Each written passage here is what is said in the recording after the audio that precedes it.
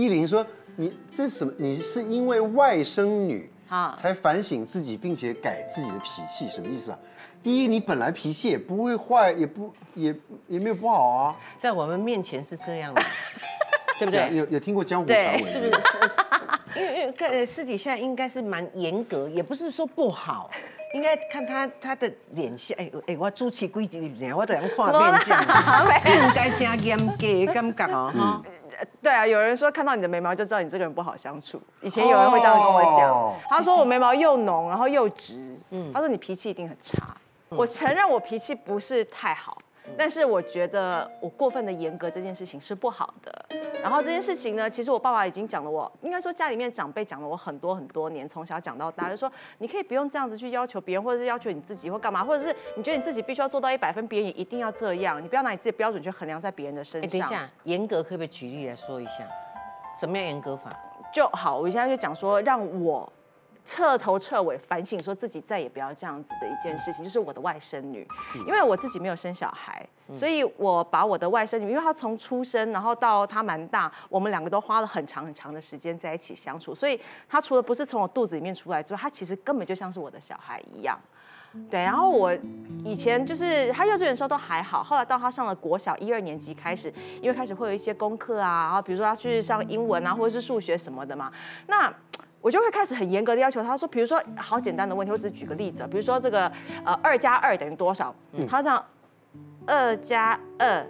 四，嗯，他说好一二三四四，对不对？来写下去，他就可能就写成三。我说你为什么会写成三呢、来，二加二是等于多少？一二三四，四来写下去，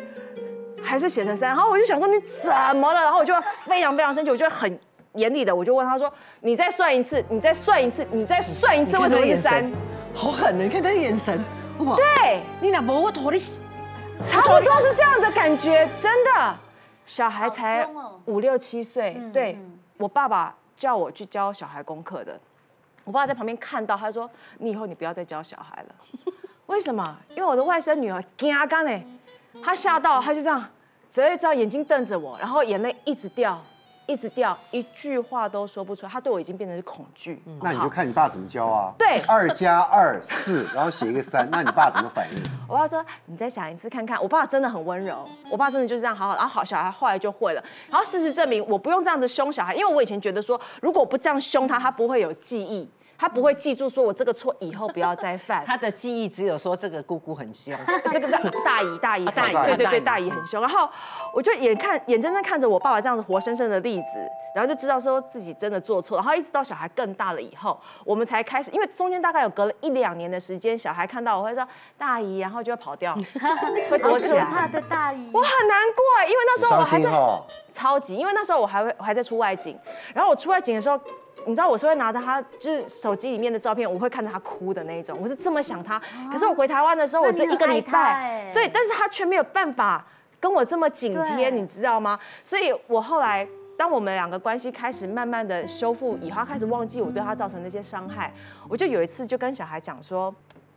我说宝贝啊，我大姨想要跟你道歉。他说哦，他说为什么大姨要跟我道歉？我说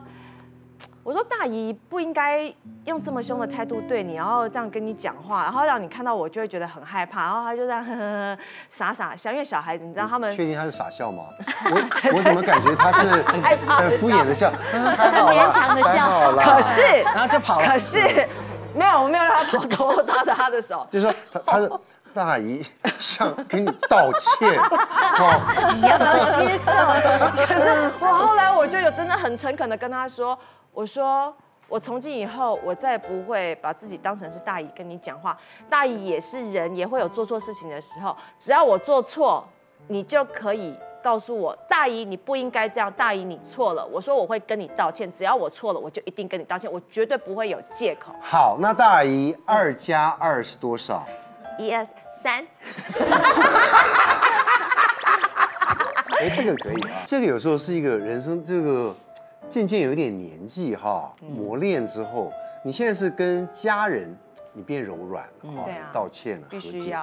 可是你跟工作同仁呢？你在工作环境场上，对不对？有的时候同事之间，如果你太严厉，大家也会也也会讲，那只是大家可能不讲，可能私底下会有点有的工作人员疏远，嗯或者排挤。其实我第一次遇到的时候，我有吓一跳，但是我现在讲出来，我相信鲁云哥、雅玲姐会现场大家听了都觉得，哎，这个很小的事情，可是他在当时的我造成很大很大的冲击哎，就是大概哦二十五、二十哦，应该有二十五六年前，我那时候拍第一部第一部连续剧，然后因为我以前是拍短片跟广告出身的，所以我那时候就觉得啊，拍片很开心很快乐，所以能够跳到戏剧这一块来的时候，我就觉得耶，有一个新的门又打开这样。那那一次呢，是插一个很小很小很小的角色。那我后来知道，我这个角色之所以会入选呢，是因为我是空降部队，嗯因为是那时候的电视台高层，然后就觉得说，哎，这女生在广告上面好像大家都还蛮喜欢，不然让她来试试看好了，所以就把我安插进去了。那因为对于我来讲，在拍广告的时候，我们常常会被客户、会被导演指定，嗯，所以空降这件事情是没有什么的。但是我不晓得说，哦，原来这个行为在剧组里里面是会没有理由就直接被人家，哎，应该说不是不能说没有理由，但这是一个很大理由被人家讨人厌。那因为原来我这角色虽然再小，即便是有好多场都是没台词的，可是因为我不是导演原本预设要的这个人，所以导演在现场已经很不待见我了。嗯，那我也觉得没有关系，因为反正就是新人嘛，你遭受的一切通通都是正常的磨练这样子。那我永远记得，就是第二次去拍片的时候，然后我从早上大概五点多我就到了现场，跟着大家就工作人员一起到现场，大家在 C 然后就在旁边坐着，然后一直一直一直没有化妆，然后一直等，等到了大概过中午放饭了以后，我才开始被化妆。好，化完了，等等等等等等等，从我早上报道到最后十七个小时过后，天黑了，啊，大家收工了。所以你一个镜头都没有拍，哦我那场就是被坑掉，但是那也没有关系，因为戏打横着拍，有有时候是就是希望说前面的场场景可以拍的比较好，所以有一些比较不重要，我们可以被坑掉，没有问题。然后大家就啊拜拜拜拜，明天见干嘛？然后我就想说，呃，发生什么事情？我还不敢收东西，这样子，一直到化妆组他们那边都已经通通东西都收走了，灯都关掉了以后，我还想说，是收工了吗？然后刚好外面只剩下你知道美术组跟灯光组的同仁他们在收东西这样子，然后我就去问一个灯光组，我说不好意思，请问今天是收工了吗？他就说，对啊，你自己不会看哦。我就说哦好，我说谢谢大家辛苦了，然后我就转身，然后想说要去路边找计程车的时候，我就听到这个灯光助理他要讲，他说钱这么好赚，不会回家躺着赚哦。啊，我就觉得，哎呦，哎呦，我有做什么事情需要被你这样子讲吗？对啊，这个有点，这个就有点严重的感觉哦。对啊然后我我其实我当下我也没有哭啦，我也没有生气或难过，我就这样傻住，然后就回头看他一下，嗯，哦哦，我就去叫车就走，就这样，嗯，然后我后来我就直接想说啊，会不会就是因为我是空降，空降的，所以大家因为都知道这个消息，那连最小的人都可以这样。可是其实对于我来说，我觉得导演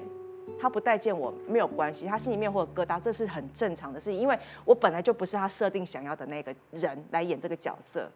但是其他的人，你这样子对我有必要吗？对啊，嗯没过几天，你接到那个通知换角，你那个角色也哦又换掉。我就被换掉。然后我之前有拍的几场，全部都都被剪光光，因为还好也只有拍几场而已，所以你到底做了什么得罪了这些人？我没有做任何事情，因为空降也不是你去瞧的。对，可是人家会不会觉得说你是不是跟上层有什么关系，所以你才会被可是如果？如如果有关系，为什么你拍的又要全部被剪掉？，对啊，对啊，而且为什么如果我有关系，我要拍一个这么小的角色？而且我那角色是很多场都没有台词，我就是一个在旁边路过的跑龙套的、哎，就一个大特哎、你选错剧组了，你来拍歌仔戏就不会这样。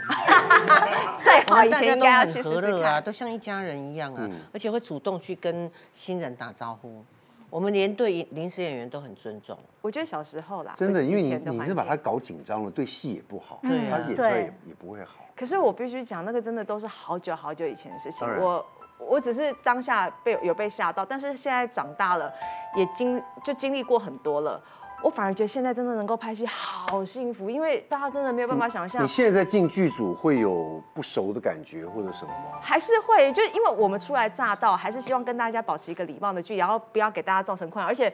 又不是小孩了，我也不需要人家时时刻刻去呵护。可是我真的觉得啊，我太幸福了，因为现在的剧组跟以前的真的完全不一样的状态。现在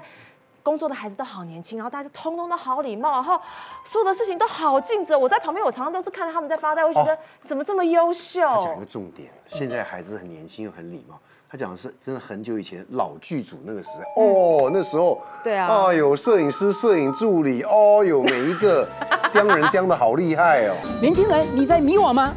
听我一句话，少奋斗三十年。让老师帮你指点迷津，从躺平族变成人生胜利组。跟着星象趋吉避凶，让我为你面对面算命。年轻的朋友想让命运好好玩的大师帮你算命吗？详情请上脸书官方粉丝团。